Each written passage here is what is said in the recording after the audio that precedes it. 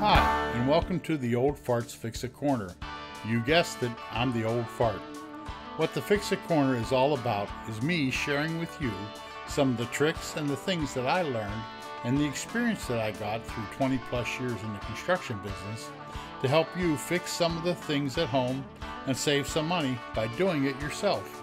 So let's look at the next project. In this project, we're going to build a set of benches that will double as the railing on our deck. We want the railing to be at least 36 inches tall, and we want the bench to be comfortable to sit on. So looking for suggested designs uh, for bench measurement and comfort, we found that the suggested seat height would be between 17 and 19 inches, and seat depth would be between 16 and 18 inches, uh, with a 1 inch slope from front to back. Also, the back height should be at least 16 inches with a 5 degree slope on it. I thought a good sturdy design would be to start with a 4x4 bolted to the double floor joists around the perimeter of the deck. Then I would sandwich the 4x4 with two 2x10s that would be cut to meet the 5 degree slope on the back and the slope on the seat. Then lay a 2x4 flat to brace the depth of the seat, and another short 4x4 to support the front of the bench. Finally, I would use 5 quarter by 6 for the surface of the seat and the back. I created a pattern and determined the measurements of all components by using brown shipping paper and creating a life-size drawing like the one you're looking at. I used a framing square, a speed square, and a yardstick. The speed square was to get the 5 degree angle for the back. After that, I cut out the pattern for the 2x10 and used it to mark the first 2x10.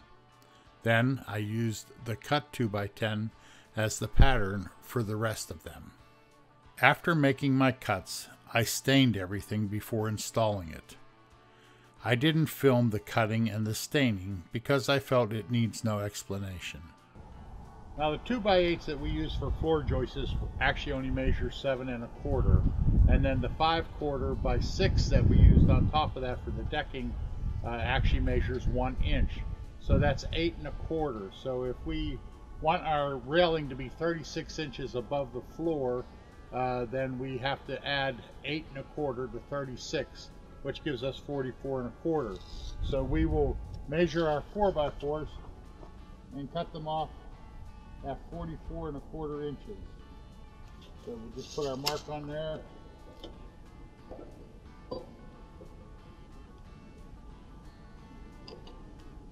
Square it off, run our square marks on around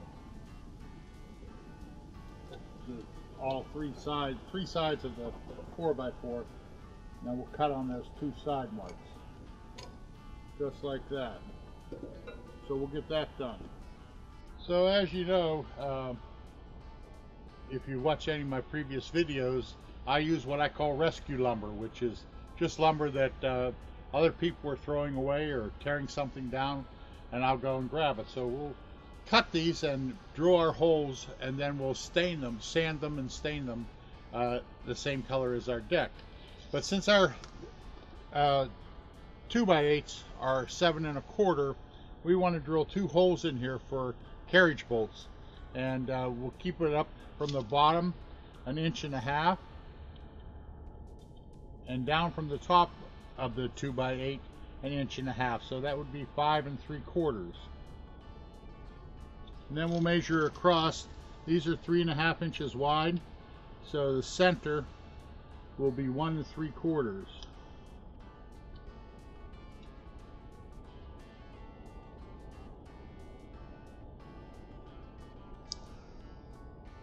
So we'll get our marks in here.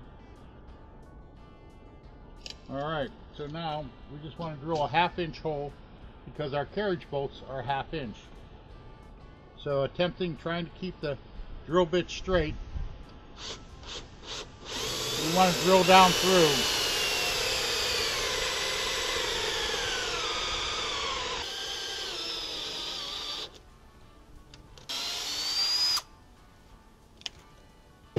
the same way with this hole.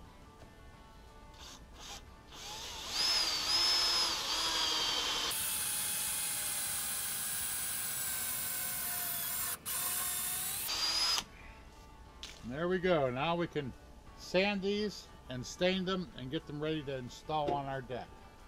Okay, if you remember, uh, we drilled holes in our 4x4s in the center of the 4x4, one and a half inches up from the bottom, and then five and uh, three quarter inches up from the bottom because our uh, 2x8 is seven and a quarter inches. So what we want to do next is locate the center of where we want our post to be and measure up from the bottom here one and a half inches and put a mark at that and where the center of the post will be. And then we're going to take a one a half inch drill bit because that's the diameter of our uh, carriage bolts is half inch. So we're going to take a half inch drill bit, find our mark, and we're going to drill a hole right through there. All right, then after we get that hole drilled, what we're going to do is install one of our carriage bolts in the bottom hole that we drilled and go ahead and snug it up, put a, a, the nut and washer on it and snug it up. Then we already have the hole drilled in our 4x4, but we don't have it into our uh, floor joist yet. So what we want to do is take and plumb our 4x4 up then we'll take our half inch drill and we'll go ahead and drill through this hole into the floor joist. We'll drill it right on through and then we'll we know that our 4x4 is plumb. All right, after we get that hole drilled, then we go ahead and put our carriage bolt in there.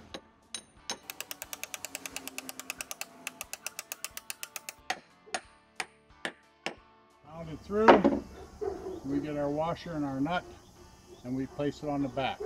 All right, so we got our washer, got our, put our washer on.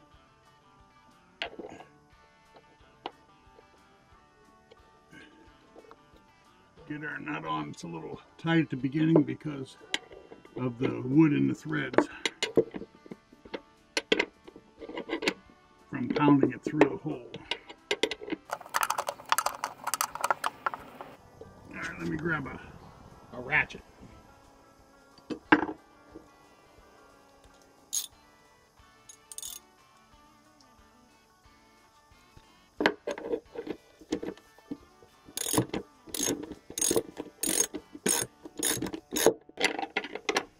Then we want to go ahead and snug these down. Good and tight. I usually keep them going until I see a little bit of moisture pop out around the washer or around the head of the of the carriage bolt. And remember the bottom one was just snug so we want to go ahead and tighten it up.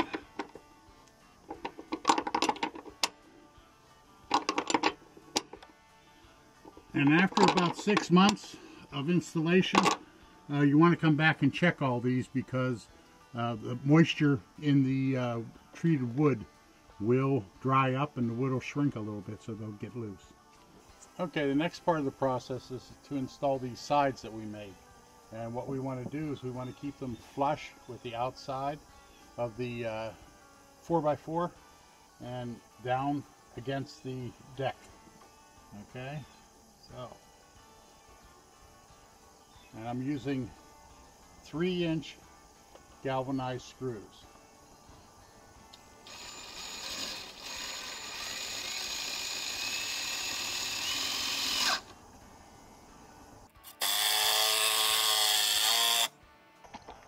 And what we're going to want to do is put about four screws evenly spaced down across there.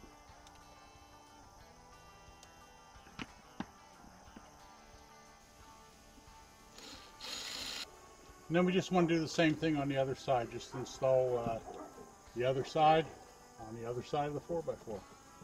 All right, next we're going to install this 2x4 right in here. You remember we cut the angles on it to match the angle of our seat. So All right, so with these 2x4s, what I'm going to do is put them in and I'm lining the top of them up with the top of this and up against the back. And I'm going to pre-drill it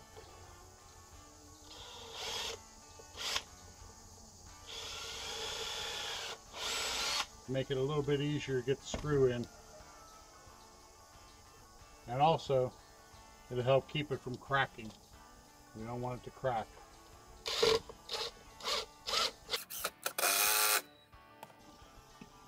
Oh, that pulled it down. So I'm going to put the sides in first.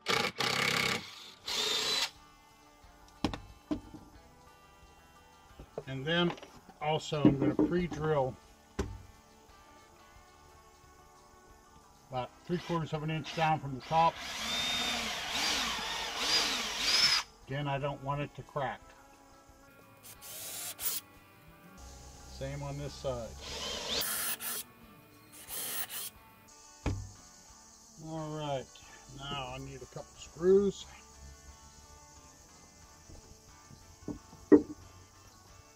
Got one here. All right, so keeping it flush with the top.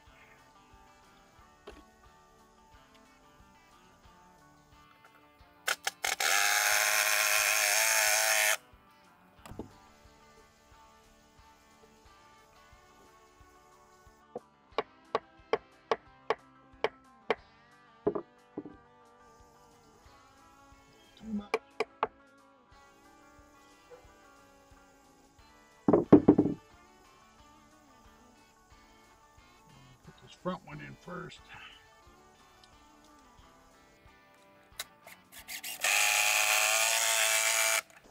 Make sure I keep that going until I pull it all the way in. Now I'm just going to go ahead and finish off putting my screws. All right, the next thing we're going to do is install the 4x4. If you remember, we cut an angle on the 4x4 uh, to match the angle of the, the bench. And so make sure you get your angle side up, the high side out, the low side in. And then I'm going to slide that right in there. Line it up with the 2x4. Going to pre-drill again so that we don't get a crack.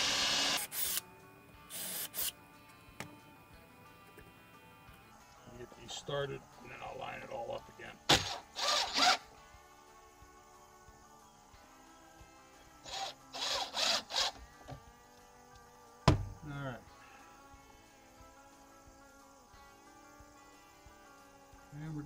get it lined up side to side, flush in the front. Go ahead and run our screws in.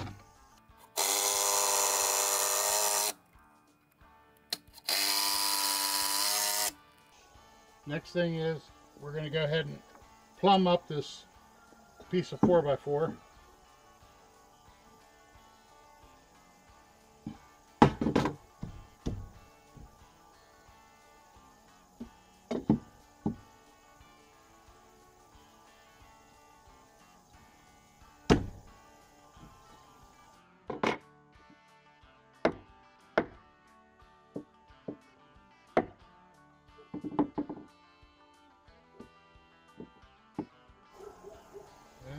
That way.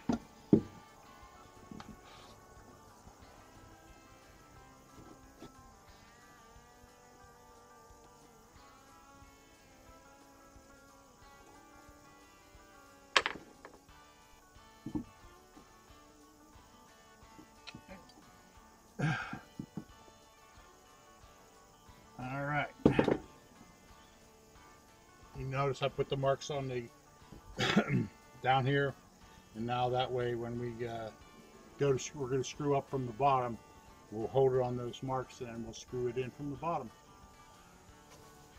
All right then this is one spot where you are going to need a helper. You're going to need somebody up top to hold that 4x4 in place. And then you come underneath.